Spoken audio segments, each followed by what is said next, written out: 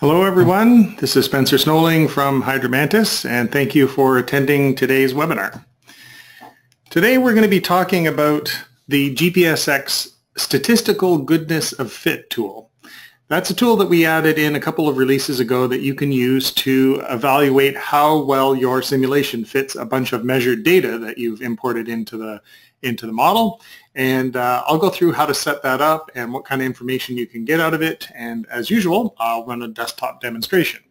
My name is Spencer Snowling. I'm VP of Product Development here at Hydromantis, and I'm glad that you could join us. So the plan, as is usual uh, for today, is that I'll talk a little bit about um, uh, running dynamic simulations and uh, how you use this statistical analysis tool and how it can be useful for you when you're calibrating your uh, models to some dynamic data. I'll show you how to set up the GPSX statistical analysis tools for various kinds of analyses. And then uh, I'll run a desktop demonstration. Um, what I'm going to be running today is the demonstration that is available in the sample layouts menu, and I'll go through it in detail as we move along. And as always, if you have any questions that come to mind while you're uh, listening to the webinar today, you can open up the questions box in your GoToWebinar dashboard and type in the question. Uh, usually what I'll do is I'll save up all the questions and I'll answer them all at once at the end of the webinar. Okay, so uh, first of all, when you're calibrating your models, if you're doing a dynamic calibration, what you're doing is you're trying to see whether the model will do a good job of matching to the uh, data set that you have provided. And fortunately, GPSX, you know, we've built in um, some tools to allow you to plot simulations and get out the data from the simulation effectively, and also to uh, read the data from your uh, Excel spreadsheets and plot that on the same graph alongside the simulation. So I'm sure for those of you who've been using GPSX for a while, you've probably done this in one way or another where you um, plot a line and you've got a bunch of data points and you hope uh, as much as you can that the data, that the simulation is going to go through those data points in a, in a reasonable fashion.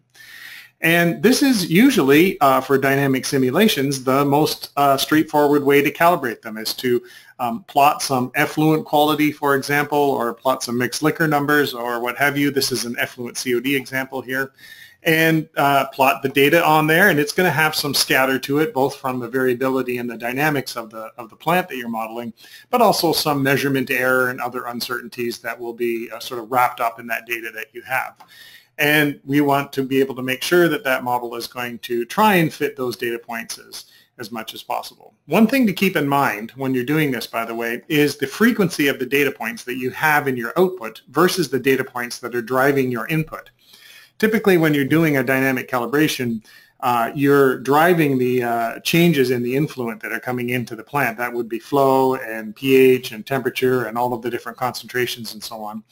And then often you have some output data that looks like this. Uh, this is actually mixed liquor data, sorry. Uh, you'll have some uh, output of some sort that you'll be plotting along by your simulation. And you may not have data at the exact same frequency in both of those cases. Um, what you'll find is that if your input data is at a much less frequent uh, interval, then you may see that it's tough to match uh, your output when you have a lot more data points. And I've run into that problem a few times on various projects that I've uh, worked on. It's pretty tough to, to catch a peak in the output uh, and the effluent from a plant if you don't have very frequent influent data to show the changes in the flow that are, are coming along.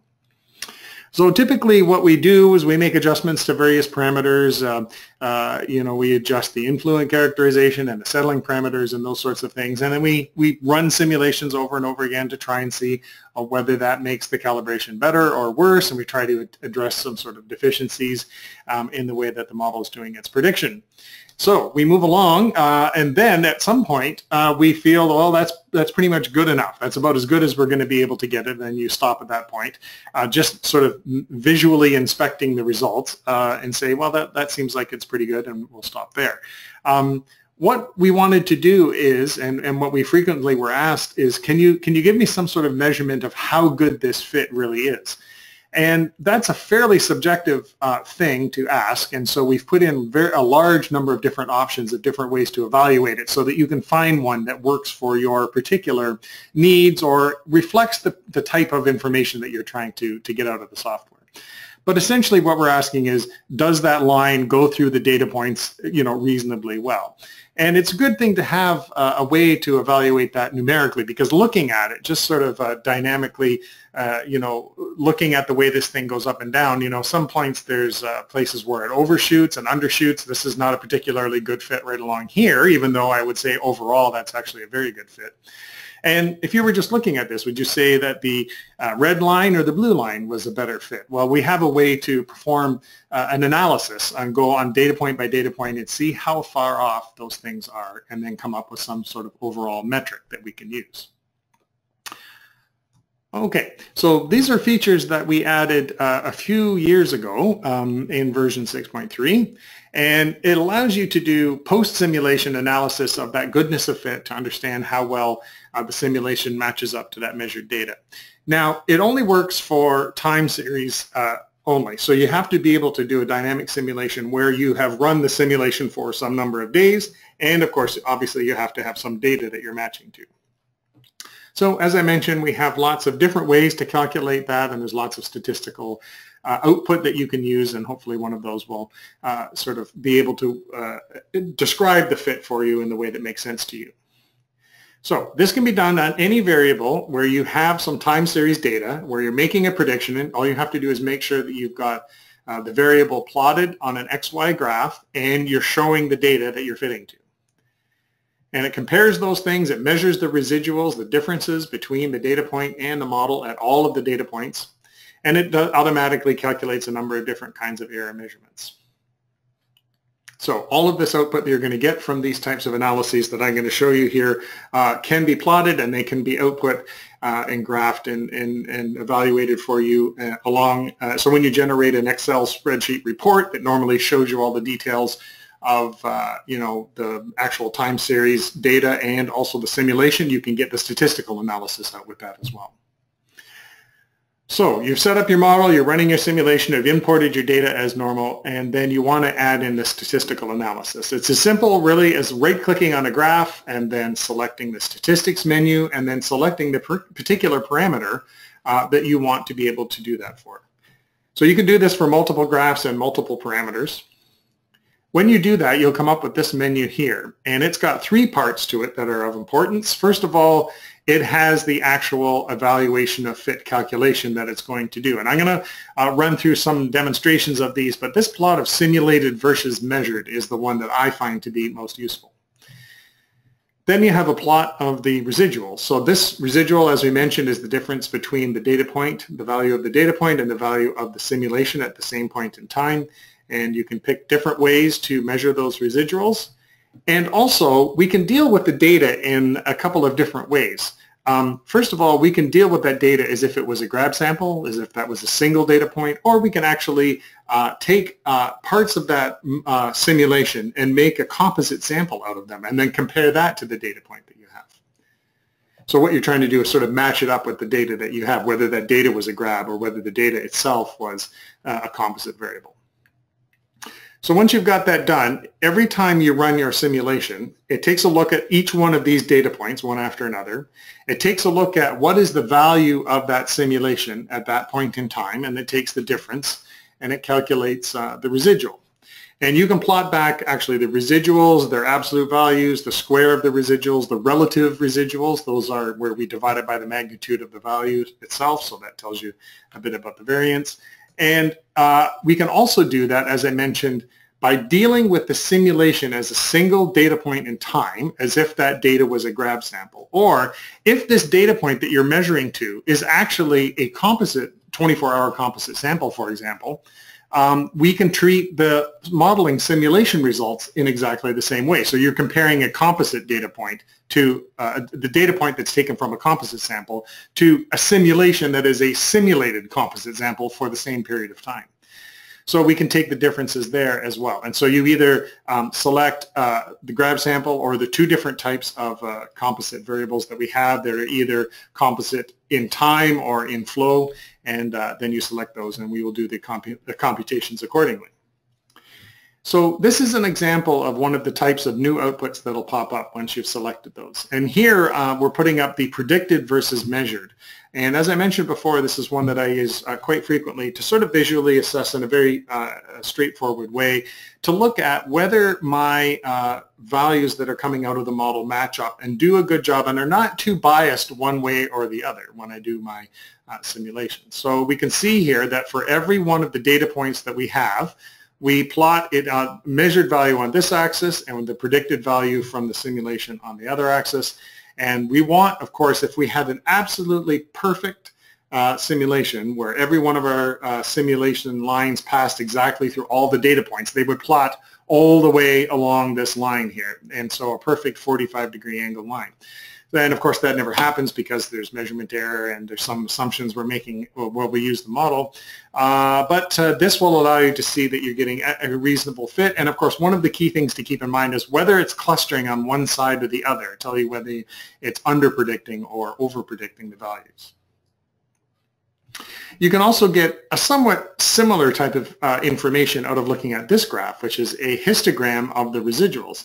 And here we can see that uh, some of the values are positive and some are negative. And really what we're doing is we're collecting up uh, all of the data points and looking at those residuals and see whether they are normally distributed around the actual simulation value, pardon me, the data value itself. So in other words, it's saying uh, all of those values that I have for the residuals, all those differences, do they fall in some sort of um, normal distribution around, it's not, not in this case a mean, but it's around the zero point, the point at which we actually had no residual at all. So if you're showing a graph that looks somewhat like this, that's saying, well, I'm getting uh, some on the some that are over predicting, some that are under predicting, uh, but most of them are falling. You know, they're they're gathering towards the middle here, towards that zero point, which tells me this is actually a pretty good fit in in in, in the sense that it's not biased in one way or the other.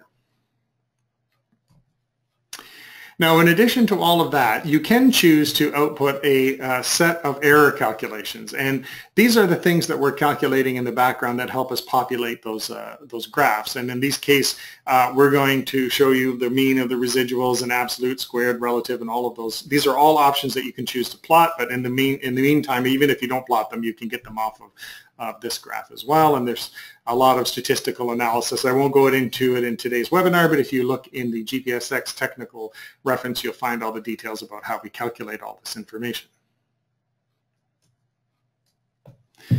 Okay, well, I always find it's easier to explain what I'm talking about by doing an actual demonstration, so that's what I'm going to do right now. So just to uh, reiterate, by the way, uh, what I'm doing here is I'm looking at, uh, if I go to the sample layouts menu and I go to the software features, statistical evaluation of model fit, that is the layout that I'm actually playing with uh, right now, so you can do that yourself um, and, and experiment with this and take a look at how so just to lay the, the background here, this is uh, just a simple conventional plug flow activated sludge tank and we're plotting effluent, COD, ammonia, TSS, and I also have a graph here for the mixed liquor concentration at the end of the plug flow tank.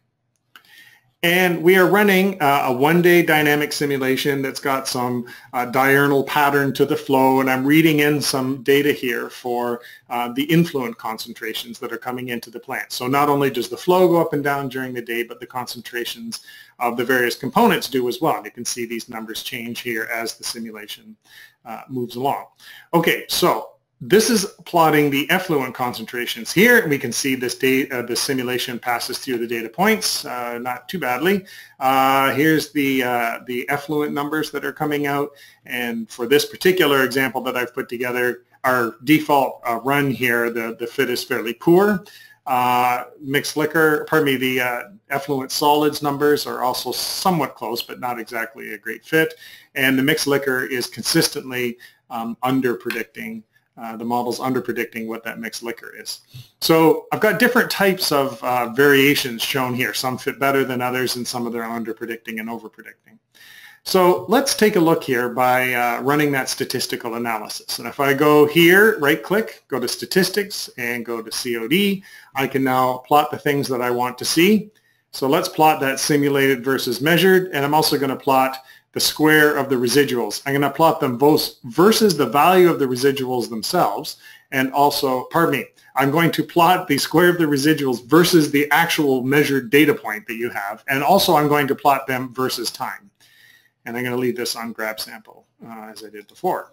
So when you do that, you'll see some other graphs pop up here. So I'll use the auto arrange button to put those in a way that we can see them nicely.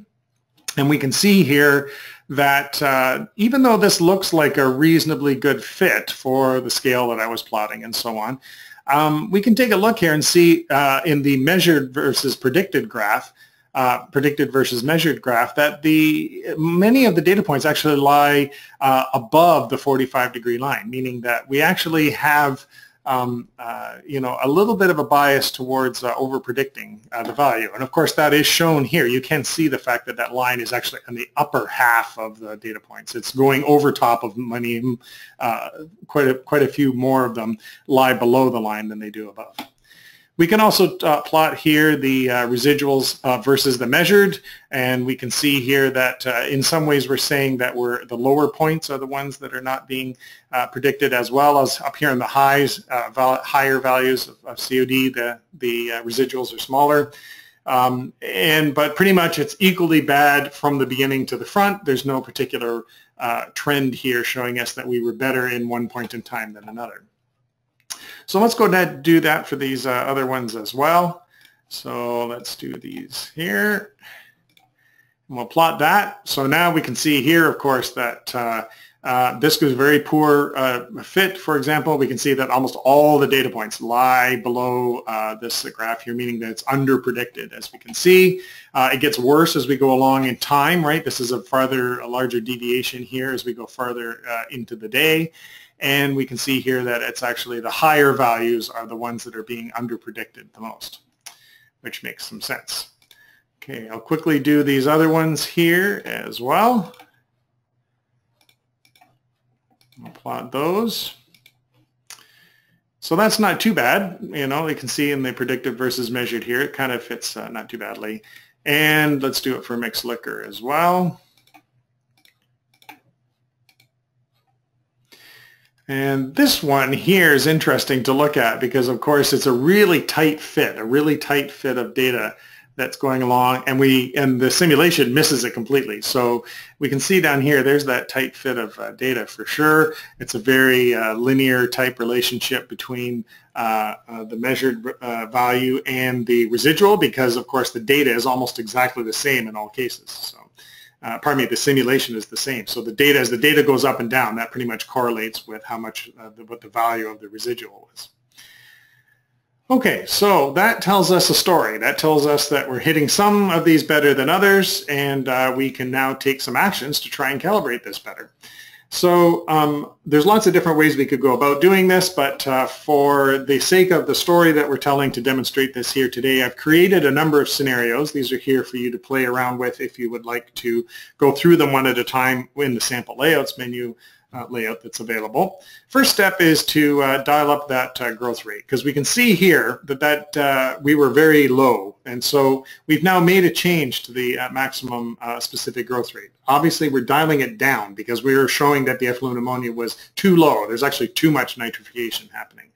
So let's run that again, and so we'll see whether that improves the situation. So went from 0.9 to 0.8, and we can see here that now that's a much better fit. Now instead of having all the data points down here, we've, we're now passing more through the middle and we can see that we're getting a much better job done than we were compared to the previous uh, steps. And did that change things out here? Probably not very much because we're just changing the autotrophic uh, activity. So uh, it doesn't change uh, COD uh, or the mixed liquor very much. Okay, next up, Let's uh, move on to the things that you would typically do in a calibration, the settling parameters. So let's look at the TSS and see whether we get a bit better uh, example out here. Now that's pushing that up again. Now we're getting a much better uh, fit here. Again, it's not showing any particular uh, time, period of time that's uh, better than any other period of time. And our mixed liquor is still too low. So now it's time for us to, when we want to change mixed liquor concentration when you're calibrating a model, as I'm sure you uh, know that it's the influent characterization that has the largest effect on our mixed liquor concentration. And so uh, let's make one adjustment to our influent characterization in this last uh, step here. We are going to adjust the particulate inert fraction of the total COD that's coming into the plant. That's that particulate inert stuff that just goes in and accumulates and becomes part of the uh, mixed liquor but doesn't actually get converted by the biomass. So uh, let's run that one more time. And now we can see here that uh, our mixed liquor is now passing through uh, the middle of that those sets of data points and uh, of course as I was saying it's very flat data so it looks a little odd when you plot it on the pre predicted versus uh, measured because our predicted values are pretty much all the same it's pretty much 3000 milligrams per liter for the whole day and so any of that variability that was coming from the measurement uh, error or the measurement uncertainty is giving us this spread from uh, left to right here, but the simulation uh, holds pretty solid at uh, 3000. So this is a, a, very kind of interesting, very quick way to, to add um, you know, another tool to your uh, arsenal of things to do to allow you to investigate how these things fit together. Um, I find it to be very useful. As I mentioned, I've, I've, I've, come to rely on this predicted versus measured graph in order to just confirm when I'm looking at, uh, you know, something like this, actually probably a better example is here. When I'm looking at something like that, I, I, it's really good to be able to have this graph to go along with it. I mean, this kind of looks pretty good, but this actually tells me that, uh, you know, that uh, distribution of residuals um, certainly is falling on both sides of the line. Okay, so what I'm going to do is I'll pop back to my uh, slides here. Just wind up with a few thoughts, uh, noting that this really is a good tool for demonstrating the quality of a model calibration to somebody else. It's nice to be able to say here, I've done this calibration. Yeah, there's some scatter in the data. You know, there's always going to be some variability in the data that's not captured by the model. But we can see uh, that even though there is that variability and we're not hitting all the data points, those residuals are nicely distributed on, on, on either side of the simulation value. So that way we know that we're not biasing it one way or the other. It does uh, identify places where you have systematic over or under prediction, and that can actually help you deal with the data that you have uh, in and of itself. Um, as I'm sure if you've dealt with uh, dealing with lots of data to be to be used for models, you'll know that um, often uh, sorting out the data that you have and understanding whether is was it measured here or there, does that include this recycle, or is it measured after the recycle or before the recycle? Those sorts of things are always somewhat challenging. Um, this can, tool can actually help you when you have a systematic uh, deficiency, a systematic uh, inability to match a particular variable, then that might help you to identify maybe that data isn't uh, measured in the way that you think it is, you know, uh, so that can be very helpful as well. Um, certainly it can help to sort of identify places where your data is um, more challenging than others.